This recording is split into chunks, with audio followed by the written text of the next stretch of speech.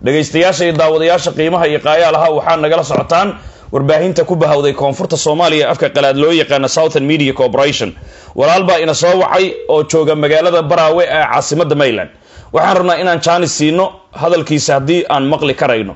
Walaalkaasi fursad baan u siin doonaa inuu waramo ma arkayse macnihi wuxuu rabana uu meeshaan ka sheega haddii ilaahay rasuul cay aan ahayn. Walaalkaasi isagaana soo wacay annaguna jaanis baan u siinay inaan dib u wacno sida aad dhegaysanaysaan dib aan u wacnay. Walaalkaasi. Soo dhawow maxaa ku daraysaa? Halo telefoonka u dhawow maxaa ku daraysaa walaalkay? Warniyo xalle waa ii goysay maxaa dhacay? Waxaa rabta sheeg hadda. Hadda waxaan kuu sheega horta saddex waxyaaloodaan ka hadlaya saddex waxyaalood. Biskili marka hore barnaamijka waxaad u bedesheen fadhi ku dirar adiga iyo jugjug meeshaa joog ninka ka horreeyey waa qoslayseen idinku laakiin inaad idinka isku qoslaysaanna soomaali ninka turkiga ah soomaali ma kala yaqaano soomaali dhan hal bay u yaqaaniin. Laakiin waa qoslaysaan.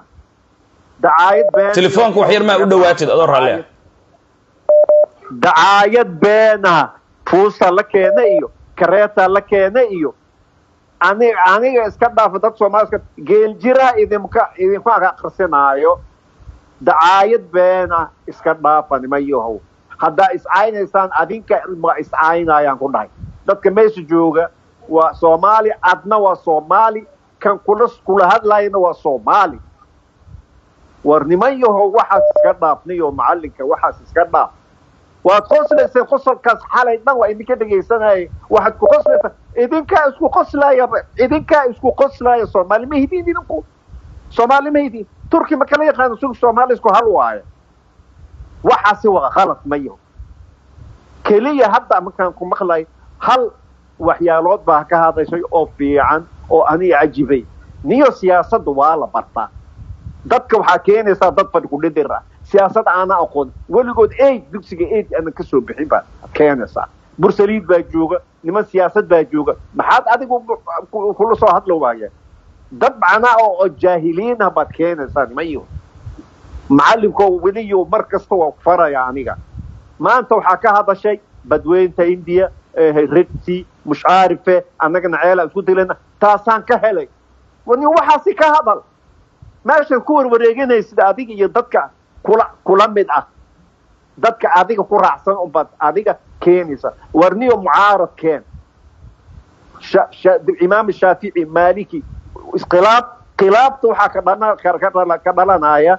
Khilaafka intigiis waxaa ka dhalana wax fiican baa ka dhalanaya. Niyo xalay anigi waa ooyey baan ku yidhi waa ooyey. Soomaalinimaa u ooyey. Marka adinku aad qolaysaan fuustaa la keenay. Niyo dacaayad baan iska dhaafa niman yaho dacaayadaasi suuqa gelinna waxa cayna nin waa dadka dhan waa idinla yaabeen. Waxa ku caytamaysa waa adig. Adiga adaa iscaanaysa kan kale kula hadlay isaga naftigiisa asaa iscaynaya soomaali ma hidin mise basaboor xun baad wadataan. Berri baa lagsoo tarxiilaya. Intaasaan qabaa aniga nin dad dad macnaa siyaasad siyaasad waa la bartaa. Aniga siyaasad ma aqaan laakiin ma ka hadli siyaasad. Ma ka hadli. Geeljirka siyaasadu ku hadla siyaasad waa la bartaa iskoolaa loo galaa cilmi cilmi waayo cilmi aqoon-yahan geeljirka naftigiisa waa aqoon-yahan nimaan geel aqoonin ma dhaamin karo nimaan geel aqoonin ma lisi karo ninka geelka aqoonin ma lisi karo waayo geelka markaa lisaysid waxa waaye wuu dhaqaaqayaa caanaha dhan baa kaa daadanaya laakiin ninka geelka lisaaya aqoon-yahan waaye markuu dhaqaaqi rabo xarakaad baa u sameeyo hoostiisuu ka baxaya waa aqoon-yahan. Wax kasta aqoon-yahan bal. Laakiin niman yahow niman yahow. Aad iyo aad iyo aad ayaa u xumaaday xalayto markaa dacaayad beena oo raqiis ah booyad baa la keenay oo soo la keenay. Dibaddaad joogtaan miya adinku? Intaasaan ku leeyahay aniga. Keliya. Waay ma dhamaysatay mise waraa kuu dhiman walaalkayo. Wax yar. Dadka dadka aad keenaysid dad niyo wax soo barta keen adiga wax baad soo barta oo ku aqaana taariikhaaga oo naga sheekiisay buntland joogay askari waad ahayd oo qori oo waxa oo magaciisii oo rasaas alahaan baad adiga rasaas la'aan oo ladin siiyey miscaarife taariikhaaga cv-ga kuli waa haysta aniga. Laakiin dad adiga kula mid ah soo dhawee laakiin dad oo shaka fadhi ku dirir ah oo waxba aan aqoonin. Aniga aan iscaanayo ano soomaali ah waan ooye shalay idinku markaad qoslaysa ka ka ka ka ka ka ka. Idinkaa isku qoslaya nimayo gadaal isu noqda turkiga ma yaqaano turkiga soomaali baa tahay adiga. Keliya uu yaqaano maaha adiga m j baa tahay m k baa tahay s d f baa tahay waxaa tahay ma yaqaano turkiga soomaali baa tahay. Nimayaho dacaayada beenaa la iska dhaaf. Waa idin baryaya dacaayada been iska dhaaf. Adiga naftigaaga dacaayada been iska dhaaf. Dadkaas oo kale ka goo haddaa waxaas gashay ka goo hadda waxaan keliya aniga sida duurtii waan ku fiirsanayay waan kula hadlay. Waxaad ee sheegtay dadka waxay heer dheer. Sheekha oo sida ka hadashay redisiiba kaas annagana ceel biyood baan isu dilaynaa waa runtaada. Adiga wixii runta? Oo fiican waan kaa qaadanaya. Ma kaa qaadan. Waa dhamay ya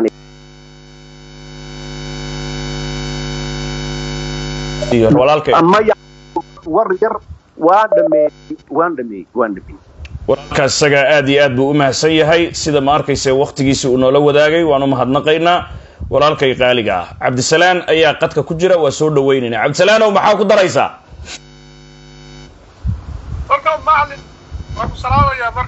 cabdisalaan waxaan u malaynayaa in ma arkaysa macnihii disconnection uuna soo kala dhex galay laakiin waa ku jir waa xalinaynaa second. Haye ku soc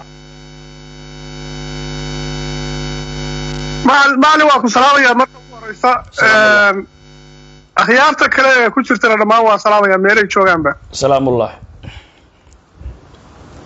horta anigu ninkii u dambeeyey ninkii ka horreeyey oo sii baxaya galay muxuu ahaa borogramka lamana socon laakiin ninkii hadda u dambeeyey hadalkiisa aan ku qabsaday inkastoo ay khalad tahay inaan u tubaraacsho haddana waxa weeyaan nin wax saxayuu iska dhigayey wuxuu lahaa khalad baa ku jirteen. Sidiisana wuxuu ka hadlayay oo dhan waa wax ka mamnuuca meediyaha weyn cay hadday jirto isagaa caytamayey isagoo caytamayuu haddana leeyahay waxbaan dhalilayaa wuxuu leeyahay waana ooyey. Isagoo hadda arto who cares? Maxaa naga quseeya? Oy annaga hadda ooys hanugu ooyno gurigaaga kooy. Waxaa kaloo soo artay wuxuu yidhi fuusaya keenaa ka hadasheen adiga maxaa kaa quseeya adigu ra'yigaaga la imow. Maxaa adigu haystaa? Siyaasad baan bartay buu ku leeyahay. Haddaad siyaasad baratay dee ka hadal maxaa rag kale ugu mashquulaysa meediyaha nin baale waa lagu dulqaatay waa lagu siiyey isagii baa ku keenkeentay oo wax ka sheegaysaa iyo muxuu aha borogaramadii iyo wararkii soo xigtay. Marka dadka noocaasa isaga wuxuu kuleeyahay dadkaasoo kale inaa ka jirti adiga xataa inaan kugu dhegaysan intaan ku dhegaysanayna dhegihii baa naga wasakaysa waa xaaraan qof noocaas oo kale handikaaba in la dhegaysto waa weliba waa ku tufaya. Waxaan ku tufayaa sababtoo waxa weeyaan maxay ahayd toy qaabkuu u hadlayey iyo wuxuu ka hadlayey ma ahayn wax bulshada wax ku soo kordhinaya waxay ahayd wax dadka dhegaysanaya dhagahooda wax u dhimay. Marka nio miskiin baa tahay go to school after that will come back. Adiga laftigaagaa iskool u baahan. Muxuu ahaa. Marka ninkaan horta taasaan leeyahay ninkaanu meediyahan annagu muddaanu ku xirnayn waxaanu ugu xirnayn inuu xaqiiqada ka hadlaan ognahay. Beenna ma laha haddaad leedahay ceebaha yaan la sheegina. Meediyahaba waxaa loo sheegtay waxa qarsoon in banaanka la soo dhigo. Wax kaloo loo furtay male fuustaa la riixayaa ma sagaal fuustaa la riixayaa. Haddaadan xamili karin oo ooyeysidna dee kuweyd guriga hooyada ama gurigaaga kooy aday kuu taalla who cares? Waxba nagama quseeya ama dhiigu ha kuu kaco ama sokore ha kugu dhacdo ama dhigir kugu dhacdo muxuu aha xataa dhakhtar ku geyn mayno. Aday kuu taalla waxaa soo hartay markabkan dadka lagu wareershay borogaraamka inkastoo aanan la socon markabkan dadka lagu wareershay shidaal baa la cabayaa markab baa yii bu bu bu war shidaalku fududaa ma biya biyaha badda baddaa dul sabaynaya biyaha shidaal waa hadda la leeyahay cabdisalaana wax yar telefoonka u yara dhowow ku soco. Shidaalka. Ku soco. Macali waxaa la yaabay. Waxaad moodaa waxaad moodaa biyaha baddaa iska socdaya moodaa shidaalku inuu yahay shidaalka waxaa la yidhi waa la saaminayaa. Xataa weli lama cadayn shidaalku meeshuu ku jiro iyo ceelasha la qodayo iyo shirkadii qodi lahayd iyo waxaanu borogaraam bay u baahan yihiin ma garata hadda qaar baa waxay ku dagaalamayeen muxuuha muxuu ah reer hebel meeqa la siinaya maamul hebel meeqa la siinay. War shidaal siyaad barrojo ayaa la baaray ceel ceelka holhol intii baaritaan la sameeyo intaasoo sano u qaatay. Baa weliba la soo saaray oo weliba laalaxday furana intuu qaatay meesha la yaha laga hortagay ceelka intuu qaatay weliba matooradii ku rakibay. Oo muxuu ah haddana laalaxdo laga tegey afgooya markii dowladdii maxamed siyaada barre bursay shidaal baa la soo intii la keenay shirkadihii oy muxuu ahaa dowladdii baa ku burburtay muxuu ahaa ka hor bay ka baxeen. Waa la baaraya gaaska ku jira afgooy marka waxaan iyaga waxay u moodaysaa in horeyba dhuraha laga soo darayo. Muxuu ahaa shidaal baa la furay. Muxuu ahaa baalkii la sameeyey. Waxaa laga yaabaa hadda waxaan xasan keenayo. Waxa weeyaan dadkaa la mashquulinaya. Waxaa lagu mashquulinayaa markabkan turkigu shuleey. Waa la mashquulinaya. Haa dadkii dhammaan shalayto waxa weeyaan kuwa badan baa waxay sameeyeen booyada soo gatay oo le shidaalkan ku qaadanayna soomaalidu fududa. Soomaalidu aaday fududahay ya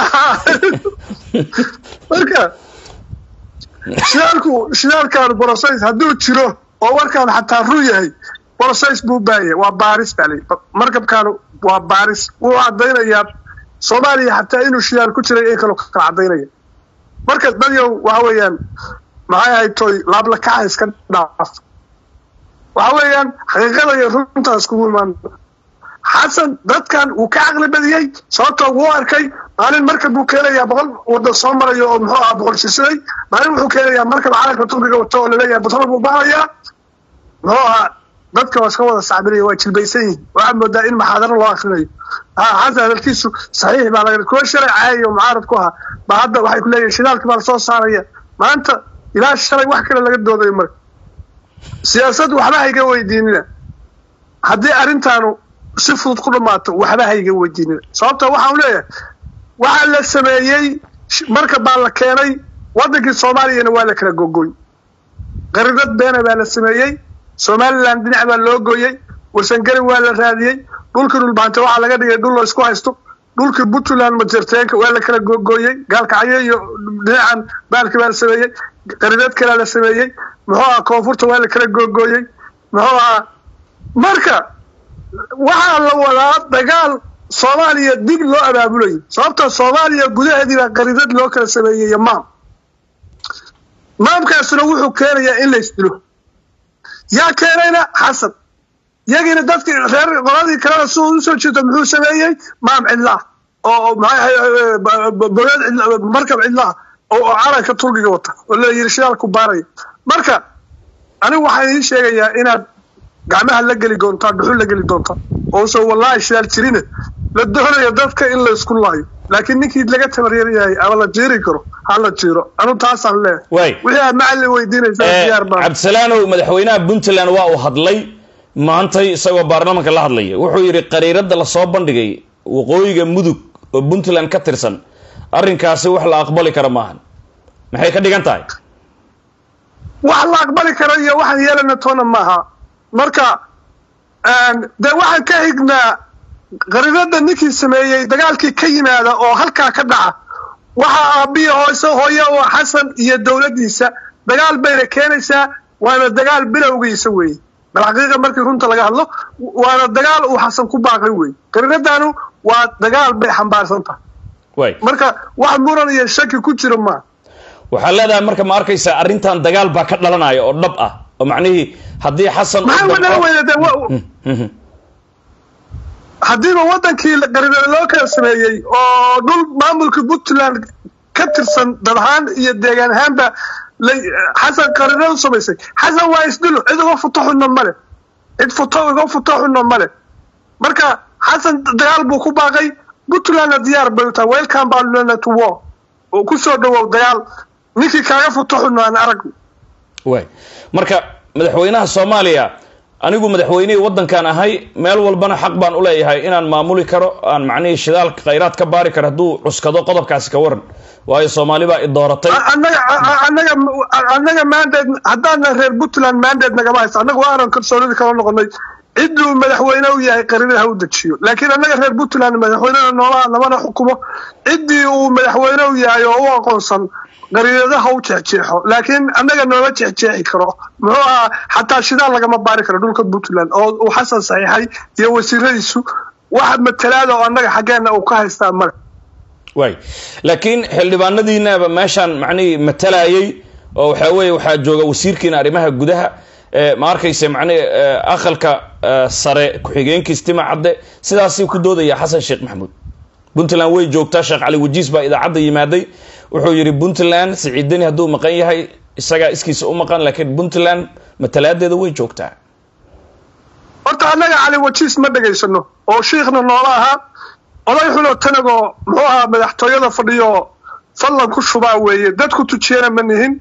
Cali wajiis annagu wuxuu yahayba ma naqaano horta marka ugu horeysa. Mana dhegaysano diinhaana kama dhegaysano shaksiyanna uma dhegaysano waxaa soo haray nimanka puntland oo wasiirka arrimaha gudaha iyo tima cadayo niman waxa weeyaan kuwaas anigu hadda ka horna waa ka hadlay kuwa waa horaan ku soo tukanay dadka dhintay bay ku jiraan muxuu ahaa annaga naga dhintay oonu mar hore jinaasadooda tukanay bay ka mid yihiin qofku haddii dayra uu kaa yahay ka dhintay iyo isagu kuma kala duwan marka waxaas dayro waaye waxay ka puntland iyo shacab ahaan iyo deegaan ahaanba waxay matalaan male. Hadday yimaadaanna mid walba sagaal xabadood baa u qoran. Puntland mid walba sagaal xabadood baa u qoran. Mayidkooda laga qaadaya. Waay sababta siciid cabdullaahi deni galgala uu rabo inuu dagaal ugu qaado shabaabka meesha joogaa maxay tahay? Kuwaas waa la soo afjarayaa kuwaas waa la soo afjarayaa sababtoo annagu dhulkeena daacish uma ogolin umaana ogolin. Al-shabaab maaha daacish weeye. Daacishkana waa la soo afjarayaa waana kor iyo hoosna waa laga garaacayaa muxuu ahaa weligeena waa la dagaalamaynay. Haddana waa la dagaalamaynaa nimanka tuugada ee dhuumalaysanaya inaysan diin wadin waa laogyahay inay argagixisan yihiin waa laogyahay in lagu shaqaysto gaala ku shaqaysato waa laogyahay marka waa soo afjaraynaa kuwaas annagu dan gaara oan ka wadana male laakiin waxa weeyaan muxuu ahaa amniga iyo dadka puntland bay liddi ku yihiin. Wixii liddi ku eyaana waxa weeyaan aakhiraa loo dirayaa. Muxuu ahaa in la laayo waajib weeyaan weliba diinaya xasan sheekh maxamuud in qaarkood xiriir ay la leeyihiin ma tuunsantihiin oo ma la tuunsan yahay? Nimanka galgale ku jira. Waa ognahay xasan sheekh waa la ogyahay inuu la leeyahay. Muxuu haddana maraykankii baa yimi oo ka taageeraya la dagaalanko nimankaas. Maxay ahayd toy ciidamadii b s ta muxuu ahaa kuwii hore u joogana oo iyagu tababareenna hadda muxuu ahaa iyo kuwo kaleo ilaa toddoba boqol oo kaleo hadda la howlgalayo marka dhulkana waa laga garaacaya cirkana waa laga garaacaya. Xasanna beesha caalamku waa ogyahin inuu argagixisan yahay oo nimanka asagu meesha ku biilo waa la wada ogyahay annaguna waana ognahay waay soomaaliya beesha caalamka hadda waxay leeyihiin wadar ogol ha la aado. Marka ma moodaa in garowe ma arkaysa macnihii ay guulaysan doonto siyaasadda federalismka ay ku difaacayso. Oo xasan sheekh maxamuud shirkii maanta uu ku dhici laayaa inuu furo necessary waay necessary waay barya maaha necessary waay barya maaha xasan ama puntland mawqifkay taagan tahay buu soo raacayaa ama daadkaa qaadaya wax ka dhexeeya male muxuu u furi waayey madaxweynaha soomaaliya shirkii lix iyo labaatanka uu ku ballamiyey maantay. Xamar ilaa hadda kor baa loo laalay shirkaasi koraa loo hayaa. Maxaa u diiday inuu furo? Muxuu muxuu muxuu furaa muxuu furaa muxuu furaa oo haystaa horta. Xagguu xukumaa puntland dhul bay xukuntaa dad bay xukuntaa toddoba boqol oo kilomitr toddoba boqol iyo konton kilomitr ilaa iyo boosaaso weeye dani baana ka taliya maamulka puntland baa ka taliya meesha la yidhaahdo ilaa iyo boosaaso ilaa iyo caluulana waa toddoba boqol iyo konton kale weeye dhul buu ka taliya xasan annaga oo madaxtooyada ka bixi karin oo meel u xukumaa la arag oo meel walba xabar gudaheeda isbaara taallo oo muxuu ahaa magaalada baabuur kaga baxa isbaara u taallo adeer annagu meel baan xukunaa dhimaa waxba xukumi waxba nooma yeerin karo. Annaguna hoos imaanaya inaanu sanka sidii geel ka durna anaa kutusayo waay garaacad ma arkaysa in dhuusamareeb la hoos keeno ayaa qorshaha xasan uu yahay. Hobyana ay u shaqayso etoobiya ay la ganacsadaan taasi ma dhacaysa ra'yigaaga? May ma dhacayso ma dhacayso. Haddii dagaalaha iyaga ma geli lahaynba haddii cid kale ay naaf duubi karto markii horeba raganimadaanu ku dhisanay kumaana dhisaneen. Haddii xasan iyo wax la mida intayna farageliyaan waddadaanu ku soconno iyo taargetka iyaga naga leexin karaan. Markii horeba maxay ahayd toy raganimada iyada iyo hantida iyada muxuu ah maalgelin ma samaysaneen. Marka annaga xasan totaliba annagu ma nihin kuwa hoos fadhiyo ducufada oo daaroodka sheeganaya ma nihin. Laakiin waxaan nahay dad hankooda iyo aqoontooda iyo kartidooda ku socda kana madax bannaan waxaan federaalka lagu tilmaamay markii madaxweyne soomaaliyeed oo cadaalada la helo markii soomaali kawa u wada taagan soomaalinimo markii la helo annagu soomaali baan nahdo dee soomaalida dhinaca iyagaan ka raacayna laakiin xasan iyo dabaljadiid iyo damal qarmuur iyo wixii la mid intay joogaan kafuurkaanu ka garaacaynaa siyaasad ahaan iyo cudud ahaanba waa kula dagaalamayna yacni haddii ma arkayse garacad la soo aado waa dagaalamaysaan idinku. Haddaad tihiin puntland. Haddii garacad la soo aado iyo gariiradaha la sheegayo kulli waa dagaalamaynaa. Diyaar baanu nahay qorigana xabaddu waa noogu jirtaa dhuunta inoo taallaa wax dhulka laga yaalamay aad buu u mahadsan yahay kaasi waxa waa cabdisalaan walaalkeenna stuudiyaha warbaahinta southern media corporation inoogu warramayay cabdisalaan boqolkiiba boqol ayaan uga mahadnaqaynaa wakhtigiisa qaaliga iyo sida wanaagsan. Ma arkayse macnihi ra'yigiisa uu inoola wadaagay. Dhegaystayaasha iyo daawadayaasha qiimaha iyo qaayaalaha waxaa nagala socotaan. Warbaahinta ku bahawday southern media corporation falanqaynteeda siyaasadda sara sabaynaysa siniqsanaysana geeska afrika iyo midda caalamka. Laba ayaan isku qabanaynaa. Caalamka sida uu u soo huraayo iyo soomaaliya oo lama huraan u noqotay oo ma arkayse rag wax magaradahi ay isku hayaan. Si kastoy ahaataba